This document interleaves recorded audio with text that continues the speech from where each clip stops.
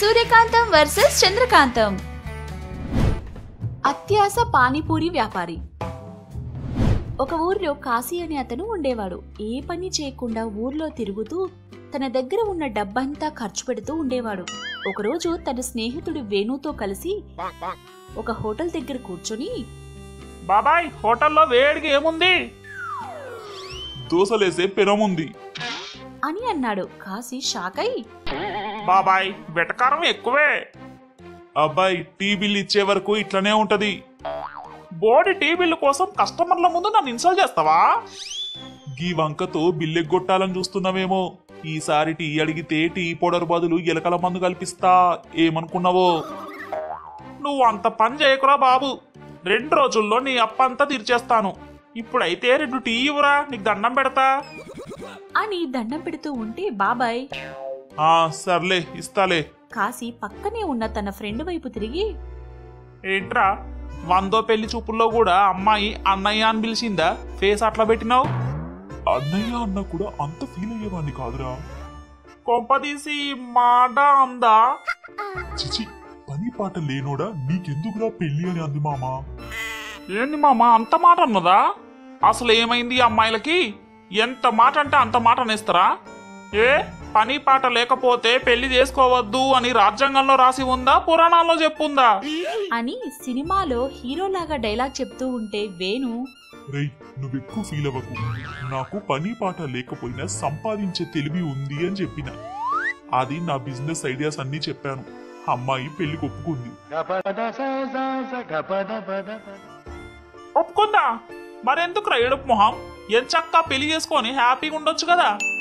అంటే పెళ్ళి చేసుకుంటే ఎంజాయ్ పోతుందని బ్యాచిలర్ బతుకు బాగుంటుందని మ్యారేజ్ లైఫ్ మోస్ట్ డేంజరస్గా ఉంటుందని పొద్దున్నే పేపర్లో చదివిన మామ. అప్పటి నుంచి భయమేస్తాంది. అని అంటూ ఉంటే కాశీ షాక్ అయి బాగుందిరా నీలాంటోడే కంది చేనుకు మందు కొట్టరా మామా అంటే పందులు ఏం తింటాయి అన్నాడంట. ఆ మాట విని వేణు ఫేస్ అమాయకంగా పెట్టి అంటే ఏంట్రా? ఎవడికి తెలుసు ప్రాస వచ్చిందని వాడేసిన. సరే గాని ఇంతకీ నీ బిజినెస్ ప్లాన్ ఏంటి మామా? ఏం లేదు మామ చిన్న బిజినెసే కానీ మస్తు ఆదాయం. అని అంటూ ఉంటే కాశీ ఆశ్చర్యంగా అంత గొప్ప బిజినెస్ ఏంటి మామా? చెప్తే ఇదేనా అంటావు? చెప్పకపోతే అదేంటంటా కానీ ఏంటో చెప్పు. పానీపూరి మామా? పానీపూరి కూడా ఒక బిజినెస్ బిజినెస్ అని తీసి పారేయకు మామా. చాలా ఇన్కమ్ ఉంటుంది. అని పానీపూరి గురించి చెప్తూ ఉన్నాడు. అంతా విన్న కాశీ మనసులో పానీపూరిలో ఇంత ఇన్కమ్ ఉంటుందా? గీ ముచ్చట తెలిస్తే ఎప్పుడో బిజినెస్ షురూ చేసేటోనిగా మస్తు డబ్బు కూడా పోగేసేటోని అయినా పర్లేదులే వెంటనే బిజినెస్ స్టార్ట్ చేస్తా. అని మనసులో అనుకుని పైకి అరే నువ్వు చెప్తా ఉంటే నాకు కూడా బిజినెస్ పెట్టాలని ఉంది మామ. నువ్వు ఒక చోట నేను ఒక చోట బిజినెస్ షురూ చేసేద్దాం. ఏమంటావు? అలాగే మామా. అని అనుకుని ఇద్దరు చెరొక చోట పానీపూరి బండి పెట్టారు. ఇద్దరికి గిరాకీ బాగానే వస్తుంది. కొద్ది రోజుల్లోనే చాలా డబ్బు సంపాదించారు. ఒకరోజు కాశీ పానీపూరి బండి దగ్గరకు మోటు అనే అతను వచ్చి అన్నా పదికి ఎన్నిస్తున్నావన్నా పదికి నాలుగు. సరే అన్నా నాకు ప్లేట్ ఇయ్యన్నా? నేను వద్దు అనేదాకా పానీపూరి వేస్తూనే ఉండన్నా. సరే. అని అతనికి ఒక ప్లేట్ ఇచ్చి అతని ప్లేట్లో పానీపూరి పెడుతూ ఉన్నాడు. అతను తింటూ ఉన్నాడు. కొద్దిసేపట్లోనే కాశీ దగ్గర ఉన్న పానీపూరీలు అన్నీ తినేశాడు. అయిపోయినాయా అన్నా? మ్మ్, మస్తున్నాయన్నా పానీపూరీలు? ఇదిగో అన్న పైసల్. అని చెప్పి అక్కడి నుంచి వెళ్ళిపోయాడు. అతను వెళ్ళగానే కాశీ నిజంగా గీ బిజినెస్ మంచిగానే ఉంది కదా? కొద్ది రోజుల్లోనే మన పెట్టుబడి మనకి రాగా లాభాలు కూడా మొదలైనాయి. ఈ లాభాలని రెట్టింపు చేసుకోవాలి. పానీపూరికి జనాలు మస్తు అలవాటైనరు కాబట్టి ఎంత ధర చెప్పినా సప్పుడు చేయకుండా తింటారు. అట్లనే అన్ని మంచి మంచి ఐటమ్స్ తెచ్చి పెడతా అన్న అట్లా కాకుండా కొంచెం అటు ఇటుగా ఉండేవి తెచ్చి పెడితే అబ్బో లాభాలు డబల్ కాదు త్రిపుల్ అవుతాయి రేపటి నుంచి గా పని చేస్తా. అని అనుకుంటూ ఆ రోజుకి షాప్ మూసేసి వెళ్ళాడు. తర్వాత రోజు అనుకున్నట్టుగానే కల్తీ చేయడం మొదలుపెట్టాడు. కల్తీ నూనెలో పూరీలు చేసుకుని పురుగులు పట్టిన బఠానీలు కుళ్ళిపోయిన టమాటాలు అన్నీ సిద్ధం చేసుకుని సాయంత్రానికి ఎప్పట్లాగే బండి పెట్టాడు. హా, ఈరోజు నా ఇన్కమ్ డబల్ కావాలి. అని అనుకుంటూ ఉన్నాడు. కాశీ దగ్గరకు రోజూ వచ్చే చిన్న అనే అతను వచ్చి అన్నా నాకు పది రూపాయలవి పానీపూరి ఇవ్వన్నా. అట్లనే?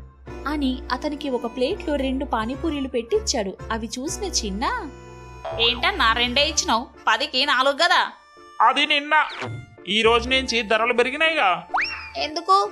నీకు కూడా లాక్డౌన్ ఎఫెక్టా? అవును తమ్ముడు అన్నిటికీ ధర పెరిగింది. పదికి నాలుగు అమ్మితే నాకేం మిగలట్లే. అందుకనే రెండిస్తా అన్నా.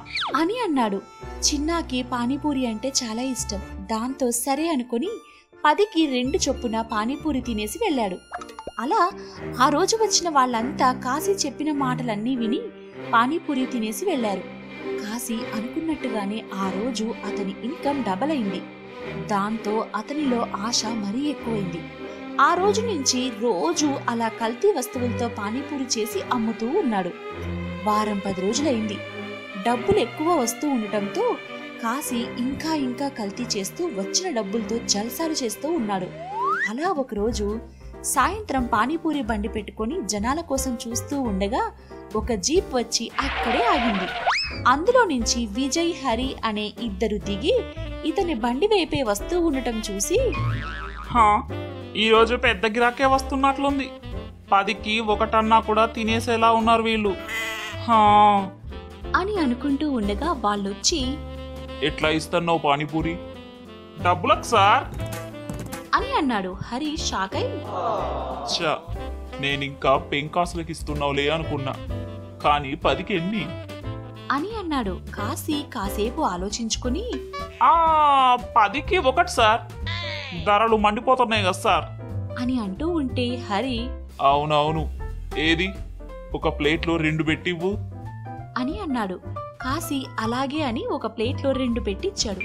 హరి ఆ ప్లేట్ తీసుకొని ఆ పానీపూరి ముక్కు దగ్గర పెట్టుకుని వాసన చూసి పక్కనే ఉన్న విజయ్ వైపు చూసి తలూపాడు. వెంటనే విజయ్! ఎన్ని రోజుల నుంచి ఇక్కడ పానీపూరి అమ్ముతున్నావు? ఓ మస్తు రోజుల నుంచి సార్.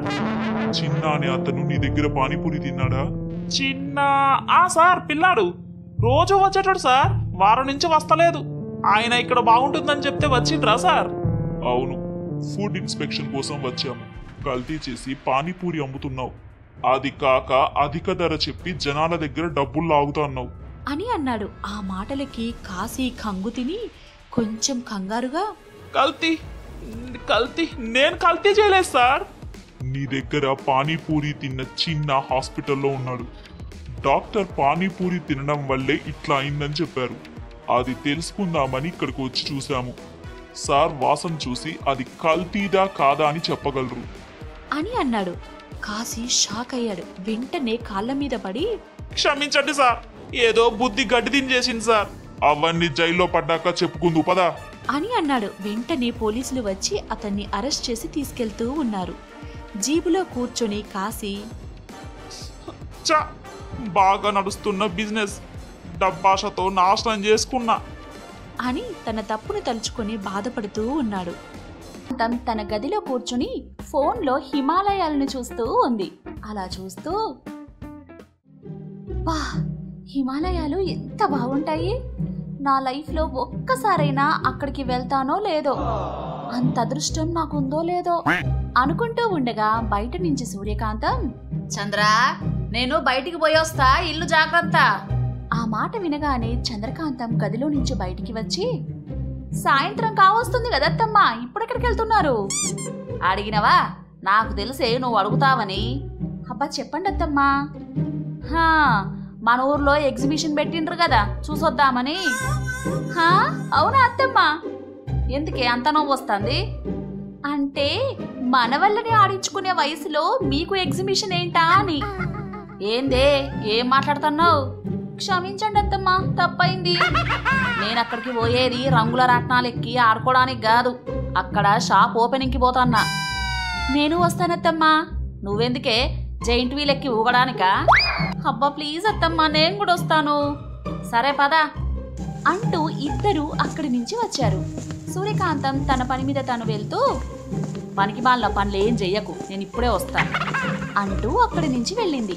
ఆమె వెళ్ళగానే చంద్రకాంతం వెడకారంగా నవ్వుకుంటూ అక్కడి నుంచి ముందుకు నడుస్తూ ఆ ఎగ్జిబిషన్ని చూస్తూ మురిసిపోతూ ఉంది. అబ్బా ఎంత బాగుంది ఇక్కడ! అంటూ అక్కడే తిరుగుతూ ఉంది. సూర్యకాంతం తను వచ్చిన పని పూర్తి చేసుకొని అక్కడక్కడే తిరుగుతూ ఉంది. అలా తిరుగుతూ ఉండగా ఒక పాప ఏడుస్తూ కనిపించింది.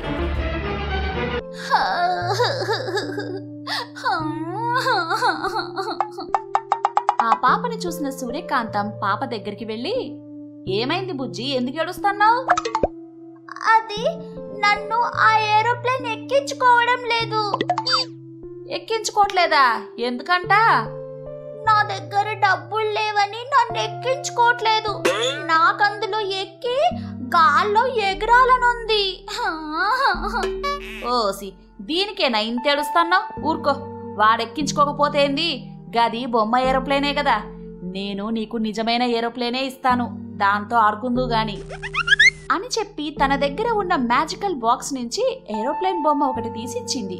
అది చూసిన ఆ పాప హై నిజమైన ఏరోప్లేన్ ఇస్తా అన్నావు? ఇది బొమ్మే కదా. ఇది బొమ్మలా ఉన్న నిజమైన ఏరోప్లేన్. ఒక మంత్రం చెప్పి నువ్వెక్కడికి వెళ్ళాలనుకుంటున్నావో గది మనసులో అనుకుంటే చాలు. కళ్ళు మూసి తెరిచేలోపు నువ్వు అక్కడుంటావు నిజంగానా? నిజంగానే.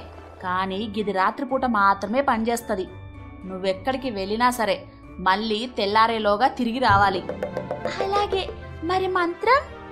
నేను చెప్తా కదా అని ఆ పాపని దగ్గరికి తీసుకుని కాకికో కికాకి కికాకి కాకికో.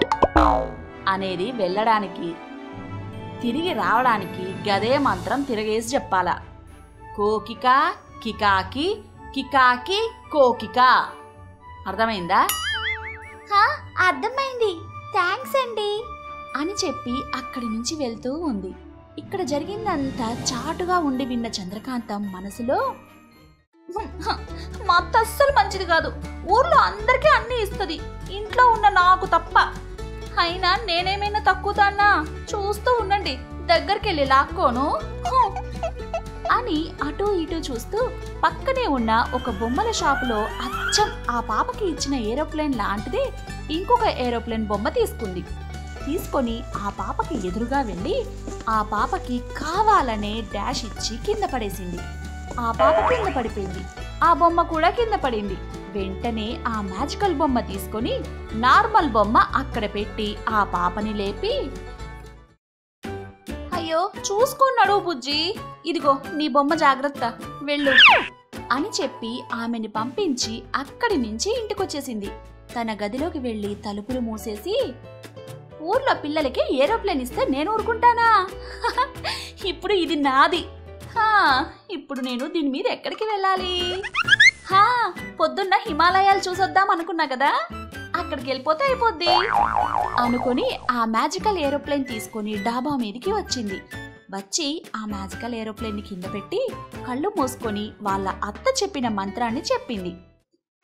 కాకికో కికాకి కికాకి కాకికో అని కళ్ళు తెరిచి చూసేలోగా ఆ చిన్న ఏరోప్లేన్ కాస్త చాలా పెద్దగయ్యింది అది చూసి చంద్రకాంతం షాక్ అందులోకి ఎక్కి కళ్ళు మూసుకొని తనెక్కడికి వెళ్ళాలనుకుంటుందో అది మనసులో అనుకుంది. కళ్ళు మూసి తెరిచేలోపు హిమాలయాల్లో ఉంది. చుట్టూ మంచు ఎత్తైన కొండలు చాలా అందంగా ఉంది. అదంతా చూస్తూ అలాగే ఉండిపోయింది. కానీ అక్కడ అలా ఎంతోసేపు ఉండలేకపోయింది. ఆ మంచులో చలికి వణికిపోతుంది. అక్కడ ఉండలేక ఫోటోలో చూసి అందంగా ఉందనుకున్నా. కానీ ఇక్కడ చలికి చచ్చిపోయేలా ఉన్నా. వెంటనే ఇంటికి తిరిగి వెళ్ళాలి. అంటూ ఆ ఏరోప్లేన్ ఎక్కి మంత్రం చదివింది. కానీ విమానం కదల్లేదు. చంద్రకాంతం షాక్. ఏంటి? విమానం కదలట్లేదు. మంత్రం కరెక్ట్గానే చెప్పాను కదా? అంటూ ఇంకొకసారి మంత్రం చదువుతూ ఉంది. కాకికో కికాకి కికాకి కాకికో అంటూ వెళ్ళడానికి చెప్పే మంత్రం చెప్పింది. తిరిగి రావడానికి చెప్పాల్సిన మంత్రం చెప్పలేదు. దాంతో ఆ ఏరోప్లేన్ అక్కడి నుంచి కదలలేదు. అక్కడే ఆ చలిలోనే ఉండిపోయింది. తెల్లారాక సూర్యకాంతం తన కోడలి కోసం ఇల్లంతా వెతుకుతూ ఉంది. ఎక్కడా చంద్రకాంతం కనిపించకపోయేసరికి ఆ ఎక్కడికి పోయింది ఇది పొద్దు పొద్దుగాలే? అంటూ తన దగ్గర ఉన్న మ్యాజికల్ బాక్స్ తీసి మంత్రం చదివి ఆ బాక్సులో తన కోడలు ఎక్కడున్నది అనేది చూసింది. చంద్రకాంతం మంచు కొండల్లో చలికి బిగుసుకుపోయింది. అది చూసి ఆ అనుకున్నంత పని చేసింది ఇది. ఇది మారదు ఇంకా. అనుకుంటూ ఉండగా ఇక్కడ చంద్రకాంతం మంచులో భయం భయంగా అటూ ఇటూ చూస్తూ ఎవరైనా తనని కాపాడకపోతారా అని ఎదురు చూస్తూ ఉంది. అప్పుడే అక్కడికి ఒక ధ్రువపు ఎలుగుబంటి నడుచుకుంటూ రావడం చూసింది. ఆ ఎలుగుబంటిని చూడగానే చంద్రకాంతం భయంతో వణికిపోయింది. ఆ ఎలుగుబంటి మెల్లిమెల్లిగా చంద్రకాంతం వైపే రాసాగింది. చంద్రకాంతం గుండెల్లో భయం. అమ్మో, బుద్ధి తక్కువ ఇక్కడికి వచ్చాను. ఇప్పుడు ఇక నేను ఇక్కడే చచ్చిపోతానేమో. అంటూ ఏడుస్తూ ఉంది. ఆ ఎలుగుబంటి చంద్రకాంతం దగ్గరికి వచ్చి నిలబడింది. చంద్రకాంతం కళ్ళు మూసుకొని ఉంది. మెల్లిమెల్లిగా కళ్ళు తెరిచి చూసింది. షాక్! తన ముందు వాళ్ళ అత్త సూర్యకాంతం ఉంది. ఆమెని చూడగానే అత్తమ్మ మీరా? మీరెలా వచ్చారు? ఎలుగుబంటి అనుకొని తెగ భయపడ్డానత్తమ్మా. నువ్వెందుకు వచ్చినవే ఈడికి? ఆ? పాపకిచ్చిన ఏరోప్లేన్ ఎట్లా దొంగిలించినవే? నువ్వు మారవానే ఇంకా? "హ, క్షమించండి అత్తమ్మా అంటూ కాళ్ళ మీద పడింది.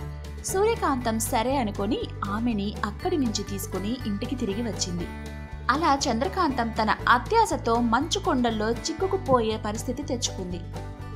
అందుకే అత్యాశ పనికిరాదు. మీరు కూడా అత్యాశ పడకుండా ఉన్న దాంట్లోనే సంతోషం వెతుక్కొని హ్యాపీగా ఉండండి.